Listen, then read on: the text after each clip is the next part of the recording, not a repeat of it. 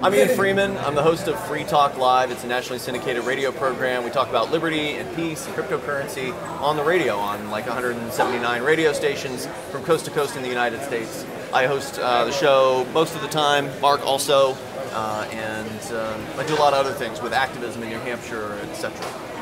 Yeah, my name is Mark Edge, and I've been hosting the show for about 15 years now, and it's uh, it's great. It really beats uh, beats having to do real work. Amen. Hey, I, this is real work. My this is the real work right here. What, what brought you? Um, what brought you to the Liberty movement? And what was your, I guess, your uh, metamorphosis into this? Okay, that would have to go back to when I was a teenager and I tried smoking pot for the first time and found out that the war on drugs was a lie, and uh, that was like my opener into you know learning about libertarians at that point, and then learning about the non-aggression principle, which of course we all learned in pre- in preschool. And so you know now it's just can you apply that in your adult life? And I could, so I became a libertarian and. Eventually, we started this radio show, and now it's on all the stations we're on. We moved to New Hampshire in 2006 as part of the New Hampshire Freedom Migration, so we can concentrate uh, libertarians in one place and actually have more success. How about yourself, Mark? Yeah, um, so I started the show being basically a Rush Limbaugh ditto head, and it took a long time for listeners to call in, asking questions and making uh, suppositions and talking to for me to sort of pop the rivets on statism as uh, as things went. You know, I had a lot of concerns about what the world would be like if people had more freedom. It's a scary idea, but ultimately, it came down. I came down to the conclusion that no matter whether something works or not that people should be able to try. And the government, the United States government, all governments in the world are monopolies. And they don't like people trying new things. We're never going to get anything better if people don't get to try new things. What do you got? You got the choice of uh, basically a monarchy, autocracy, dictatorship, democracy. All of these ideas are at least 3,000 years old. There's no new government technology. I mean, nothing? Well, there is. It's just the government won't let you try it. I mean, the technology is as old as Locke and Thomas Jefferson and these people. It's just that it's never been implemented because the, the allure of government power for the politicians, people just like us, it's too high. And they love that monopoly. Can you explain uh, what, the, what the Great Freedom Migration is and what's going on in New Hampshire right now? So Before you start, can you yes. fix your mic? You found it, sure. Yeah. Pull it out a little bit. Yep, thank you. Go right ahead. Uh, so the, the New Hampshire Freedom Migration has been going on for more than a decade, uh, with thousands of people now who've moved, picked up their lives, their families, their businesses, uh, and moved themselves to New Hampshire, where New Hampshire is already the freest of the 50 states. So if you go and you look at the Cato Institute study of the freedom of the 50 states, New Hampshire's number one. Uh, so it's a good place to start if we want to make a place the most free place on the planet, right? So you go with the already freest place, and then you get a bunch of libertarians to move there, and you make it more free by actually having success in different areas. Like, so some people are interested in politics and they're running for office. Some of them are running as Republicans and Democrats. Others running as libertarians. We even had two Republicans and one Democrat this last year flip to the Libertarian Party. So New Hampshire, you know, the Libertarian Party nationally has been trying for 40 years to get somebody elected. In New Hampshire, we've got three state representatives who are libertarians, which is three more than every other state combined. So, like State reps, state reps. like our Congress or Senate? Uh, State so Oh, state reps, state representatives. So you know we have 400 total state reps in New Hampshire, which means it's uh, a very small number of people per representative. So it's the largest representative body. There's, I could go on and on. In fact, there's a movie that I helped co-produce called uh, 101reasonsfilm.com. It's the 101 reasons liberty lives in New Hampshire. These are reasons why people like us would be really interested in what's going on. Because New Hampshire is almost like the best kept secret of the liberty movement. Like some people know it's there, some people don't even know where it is. And it's it's a small state, it's easy to get around, and it's easy to have an effect on the political system there. But even if you're not into politics, you know, I was telling you guys about Derrick J's victimless crime spree. There's been some epic civil disobedience that has happened there. Some very visible, like cop block and people going to trial on stuff. And you know, there's just been a, a long history of really just cool activism that's happened there. And the more people we can get to move, the better off we're all going to be because libertarians in a lot of cases are alone. You know, you guys have been talking with people here. We were just out there and one guy was telling us he didn't realize that other people really felt the same way as he did. And that's because most libertarians are very lonely where they are. They may have friends, but their friends probably aren't into liberty. and so they don't have the ability. Coming to these events helps them connect, but eventually they always end up going home and. You know, there's not really much happening there that's very exciting. In New Hampshire, there's always something going on. There's always something you can get involved in. Now, is this, uh, is this freedom movement universal throughout the state, or is it concentrated in certain areas? Well, I mean, obviously, people are going to move where the jobs are, right? So they're going to go to Manchester, which is the biggest city in New Hampshire, or Concord or Nashua. You know, the, the places where concentrations of population are, are going to attract most of the movers. But there's plenty of woods in New Hampshire. It's mostly a forested, you know, woods state. So if you want to move out in the middle of nowhere and be left alone, it's a nice place to go to do that too. So anybody you want to move in the middle of the city or in the woods, you've got choices. Um, I just one more question. I wanted to ask you. I know Portsmouth and Keene are, um, are two towns you guys highlight. Can you just tell me what exactly is going on in these two towns and why, what makes the Liberty movement so strong there, and what's going on as opposed to you know 99% of the rest of the country? Well, I, I think what sets uh, Keene and, and Portsmouth uh, apart is that they, uh, they're activists there. They're working very hard in the cryptocurrency sphere. So both Keene and Portsmouth, you can go and use your phone to buy and Bitcoin or Dash or whatever, and you could get. I know you can go get a hamburger. You can get your car repaired. You can walk across the street and get uh, um, go Pack to smokes. a pack of smokes or a, a drink or a bong. Uh, you know, yep, you can buy a pipe with, with you can get your hair get your hair cut get uh, you can go to the nursery and buy some plants i mean all kinds of things we've worked very hard to have um, you know penetration in the marketplace uh, for these uh, cryptocurrencies It makes it real. Yeah. And you can actually buy a thing that you feed yourself with. You're feeding yourself with cryptocurrency. There aren't very many places where you can do that. And both Portsmouth and Keene have a higher concentration of Bitcoin and cryptocurrency accepting businesses than even big cities like San Francisco. If you go and you Google top 10 Bitcoin cities, San Francisco is always listed as number one. And the way they figure that out is they look at uh, coinmap.org and they look and they see how many businesses per capita population San Francisco wins. But they're not looking at Keene and Portsmouth because we have like a factor of four or five times more concentration than San Francisco does. You can literally, in the downtown Keene area, go in, get yourself a pack of cigarettes or a newspaper or whatever from a little corner store or pipe or whatever, walk across the street, and then buy lunch with cryptocurrency. You can then go down and pick up a pizza and make that later. There's a take and bake place. You can, you know, there's tacos in the next, you know, few towns over, um, and there's a little shop that sells local goods that are made by local people in New Hampshire. They'll sell you things for all kinds of cryptocurrencies. there's there. a There's two- barbecue joint Yep, that, that's right. Um, there's two cryptocurrency vending machines in town as well. I mean, for a town of 20,000 people, you've got two cryptocurrency vending machines. there's, There's two in Philadelphia. two in Philadelphia. Which is Exactly. a million, like what is it, Million and a half. 1.5 million? Yeah. Exactly right. New Hampshire, the state of New Hampshire, doesn't even have a million and a half people. It's maybe 1.4 million. And statewide, we've got 10 cryptocurrency vending machines right now. And I think an 11th just opened up in Nashua recently.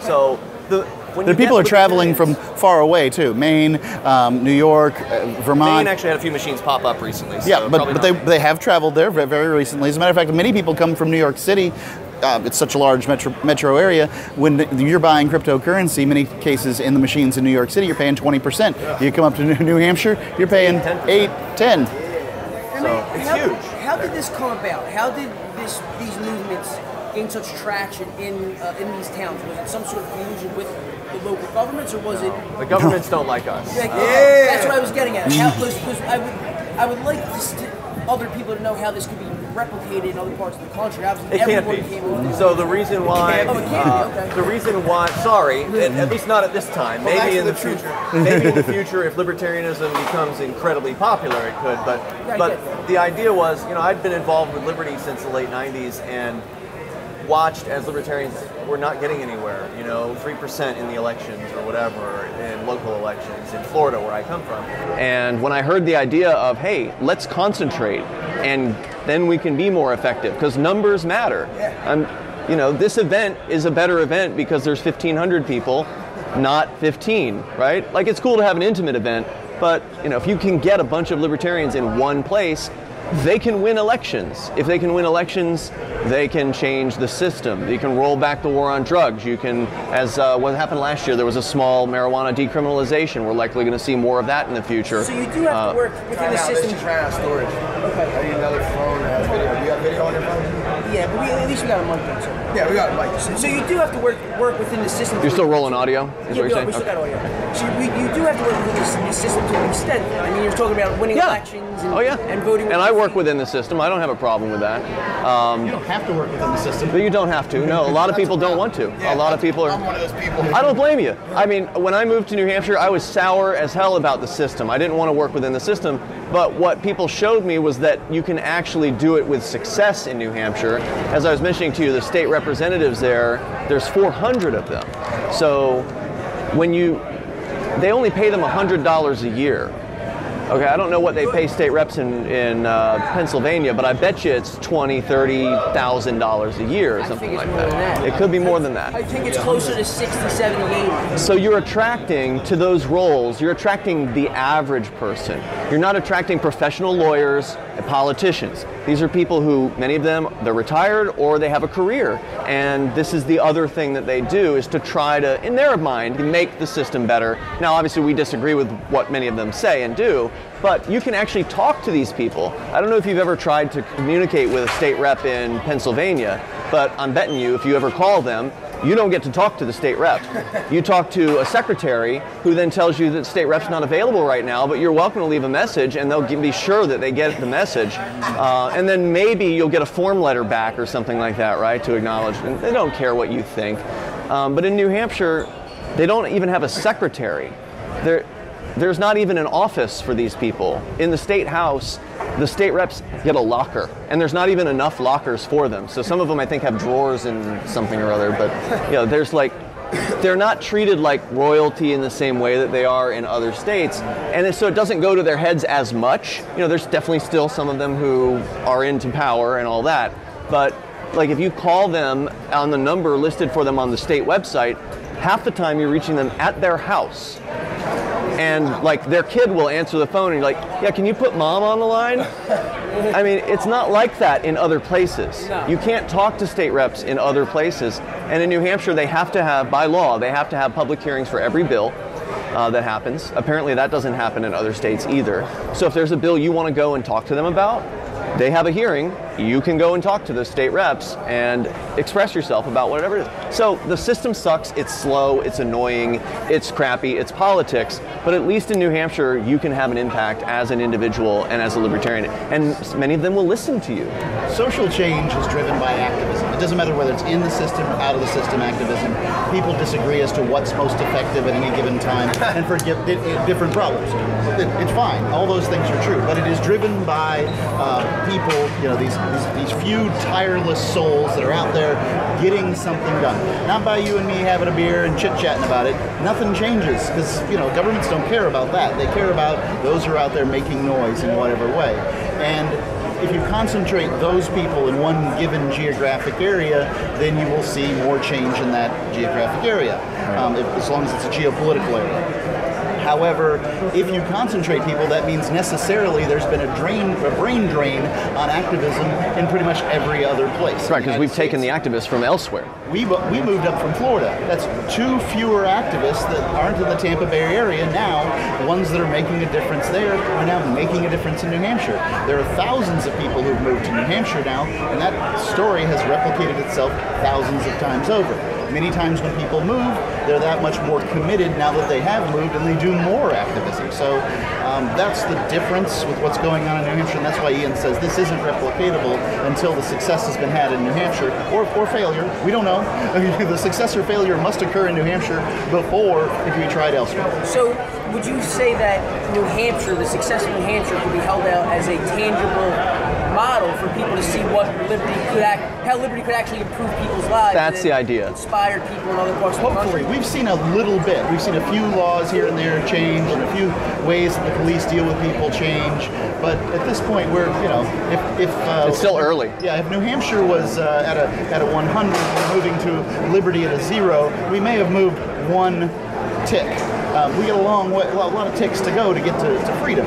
So But- there's a tick closer than you were before, right? Right, Right, and we were already a free went state. Tick, tick, tick, tick, tick, backwards, right? Yeah. You know, um, all the other states are moving in the other direction. New Hampshire may have ticked. We're, we're more likely holding the line, like we're stopping government from getting bigger, which already they were doing in New Hampshire because New Hampshire's the, the granite state. It's live free or die, right? You probably heard that that Yes. phrase. And you know, while to some extent that's just a slogan, it's also to some extent the mentality of many of the natives. So when we're moving there, it's not like an invasion or something like that. We're there to back up the people who were born and raised in New Hampshire who, you know, love freedom and they love, you know, guns and they love pot and they love, you know, all kinds of things that a lot of us uh, really appreciate. The the mentality of the natives of New Hampshire is hard to really express. You know, most people don't know people from New Hampshire. It's a small state, right? They've never been there. They don't know what it's like. Where when you drive across the border and there's a sign that says buckle up. Normally you see it's the law, right? In most states. In New Hampshire, it's like common sense for all because you can f- fling off your seatbelt if you want to. Cops can't pull you over for that. If you're on a motorbike, you don't have to wear a helmet. You can't get a ticket. In many states, They can't pull you over for uh, not having a seatbelt on in New Hampshire. Right, I'm saying, it's, but it's not against the law at all. Right. Right. But this is clear. So in many states, there are. Um, it's a secondary offense. It's So- not even a secondary. Right. So it's the only state in the union, the only state in the United States of America where an adult over the age of 18 doesn't have to wear a seatbelt. And the- or another, the, the New Hampshire legislator said, you know, that $3 million the Department of uh, Motor Vehicles or whatever is handing out from the United States government, it's just not good enough. Our people can handle it. And we have more compliance uh, with seatbelt use than some other states that have it as a law. Laws don't work when it comes to seatbelts. So there's just these little things that, you know, when you add them up, as I said, 101reasonsfilm.com, there's a bunch of them in there. I mean, we're just, we're doing a very short version, right, of trying to, uh, to point out. But there's just so many cool things that are happening there and that the reason why New Hampshire won, there was a vote years ago of which state should we choose, because there were like 10 different states that were low population states where a, a number of people could have an impact. And New Hampshire won overwhelmingly because it was the clear choice. It was the clear best option for freedom right now. And with more libertarians moving there, it's just going to get better. Thank thank you guys so much. I feel like we got a lot. Absolutely. I might, mo- I might move to New Hampshire now. Yeah, You should come and visit at the least. Come and visit. Especially when you drop, dude, when you drop that, like, you can go to the woods and then go to the city and then buy your bowling lunch Bitcoin. Like, With oh, Bitcoin, for sure. Stop. This dude is dream. This dude is literally spit my dream. It's a dream. It No really strip is. clubs, The whole place. There's one strip club in Manchester, but it's not full nude. Well, yo, I, I, I, like- I like paying for women with love. You know There what you- I mean? there you go. That's my thing. Yeah, it's fun. It's, and there's Another this. If you go to freekeene.com, we report on some of the things happening there, but there's more activism happening in New Hampshire than we even know about. Wow. Um, if you're in an, ev- any given area, there's different projects going on. People who are interested in different things. Maybe it's you know, uh, maybe it's making sure that New Hampshire stays one of the most free states with guns, right? So like last uh, last year, we had some good political success stories. I'll run through a couple for you if you don't mind. Um, New Hampshire was already one of the best like gun self-defense freedom states, but it's now one of the top three because they now have concealed carry with no permit. So you don't have to ask permission to conceal carry. They've always had open carry, so if, if you want to walk around with a you know gun on your hip, no problem. In New Hampshire, it's common to see people carrying guns, average people carrying guns. It's not uncommon. I'll sit in a restaurant, some guy opens his jacket, you can see, you know, he's got a gun there. I It's- feel so unsafe. I've I know, seen All people. those uh, school shootings in New Hampshire, right? It doesn't They'll really, yeah, it doesn't know, really happen yeah. out there. And New Hampshire is one of the safest states as a result. Like murders per capita, New Hampshire is number one lowest. I don't know So that you can say as a result. New Hampshire is certainly one of the safest uh, states in the union. I think that the, the jury's out as to whether or not uh, gun freedom makes people more safe or not. But I do think that um, you, you but but guns don't um, outlawing guns doesn't work either. Ne- Right. I think these are non-correlated facts personally. yeah, so minor uh, decrim of cannabis happened last year. So we got gun, more gun freedom and more weed freedom at the same time, uh, both signed by a Republican uh, governor.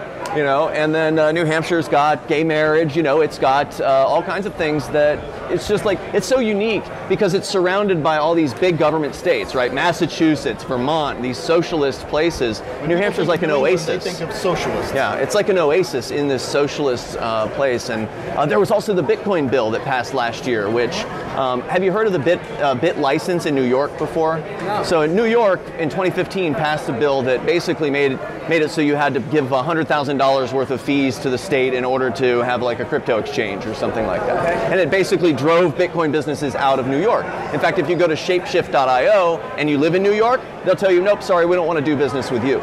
Um, there's websites like that. They just will not do, deal with you if you live in New York because of the bit license. Yep. And so in New Hampshire, they, uh, New Hampshire state reps formed a committee to study cryptocurrency. A bunch of us went to their hearings and spoke to them and explained cryptocurrency to them. Some of them And- already do. No, I talked yeah. to senators there at the front of the room. I you know, t- testified their senators, and they're saying They had it. They, they knew it. They had it. They had it. Uh, so, so you've that got gonna happen elsewhere. I know. Yeah, you've got state reps and senators who are already into cryptocurrency, so they introduced a bill that basically did the opposite of what New York did. New York, by the way, the 50th state, so they're the least free state. Yes, Senator. Uh, right. So, so they did a bill that says if you're doing a crypto exchange or if you're doing crypto only to crypto, so not fiat, but crypto to crypto, you are not being regulated by money transmitter regulations in New Hampshire. So there's an exemption that's been carved out in New Hampshire. And of course, some of the crypto people are seeing that and they're like, maybe we should move our business to New Hampshire. So, I mean, it's just going to keep building you know, success upon success, and eventually people are going to hear about what's happening. They're going to say, "Yeah, we just can't deny it anymore. New Hampshire is the place to be if you love freedom," Wow. and it always was. Well, now more than ever, dude. Yeah. Jesus Christ. So, can I just make sure I heard you right? Yeah. You're saying that if you go Bitcoin to Bitcoin and you don't fuck with fiat, that's like uh, almost the, the government has declared that that's okay and they don't. There's a want you protection. They won't regulate that. They don't even. tax either. The state government. won't State government. Regulate. Yeah. Yeah. Um, they, there is no income tax, so the state government wouldn't tax it. Right. Oh, okay. the No state income tax. No sales tax. Laws, but it's not like they're hunting around for what people Yeah, are doing. federal right? agents ain't like lurking through New Hampshire, through the woods, trying to find me my den, paying shit with crypto. There are only a handful of states that have no uh, income tax. New Hampshire is one of them, and there's only a handful that have no sales tax. New Hampshire is one of them.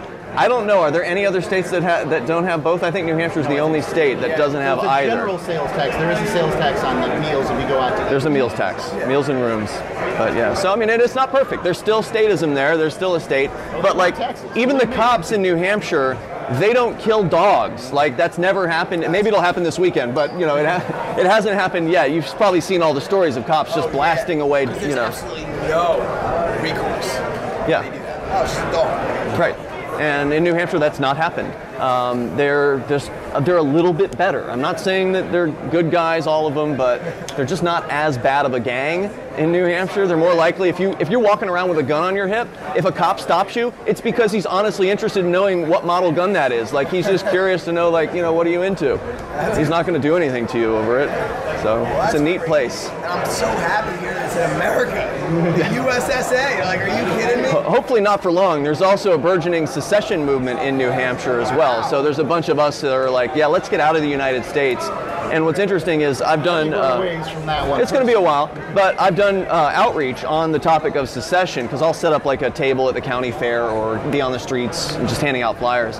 And when you talk to New Hampshire natives about secession, when they get the flyer about secession, their, their eyes light up and like a smile comes across their face. And they love New Hampshire more than they like the federal government. Yeah. And that's a common thing amongst the people of New Hampshire. So I think there's a very bright future for that. I will say that um, you know, New Hampshire is still in the, inside the United States. The United States government still expects its citizens, whether they're in the country or out of the country, to pay income taxes and all those other things. Any other country in the world, they don't expect that. So if you were, for whatever reason, to immigrate to uh, Mexico or St. Kitts and Nevis or something like that, you would find that um, the federal government uh, just wouldn't have the impact in your life that it, that it does as a U.S. citizen. Yeah, Yeah. well, they tend to leave tourist types alone in these other countries. But to me, I don't want to just stand by as people are being harassed on the streets just because I'm being left alone because I'm a tourist. That doesn't make me okay with the police fucking with some local guy who's, you know, maybe had too much to drink at a bar or something like that. But when I'm here, you know, I'm a cop, I'm one of the original cop block guys uh, from, ba- I'm badge number five, right? Like, so I've been around, I've done a lot. Uh, they have Facebook website. It's been around for a while, but um, you know, if I'm in Acapulco and I see the police fucking with somebody, my natural instinct is to like grab a camera and you know pull it out and hold these people. But it's not my territory, you know. Like I'm not, I'm not, I'm not going to make that stand here. And we can do that in New Hampshire. You know, we don't have the same. There's a, there's a lot more that we can do. If you just move to Acapulco, you're just going to try to avoid the state, right? Like Yeah. you're not going to, and there's not going to be freedom for the people of Acapulco because a handful of libertarians move here. That's not going to happen. So New Hampshire, if you want to see a true free place, at some point, in my opinion, it's got the best odds, and the more people that move, the better odds will be. Thank both you Thank guys. you Thanks so so much. much. For this conversation. It was great. Can we get Appreciate your it, man. one more time? Yeah, yeah. Ian Freeman And Mark Edge. Hell yeah. with Free Ian Talk Mark Live. with Free Talk Live. Where can we catch your show? freetalklive.com, seven nights a week, or lrn.fm.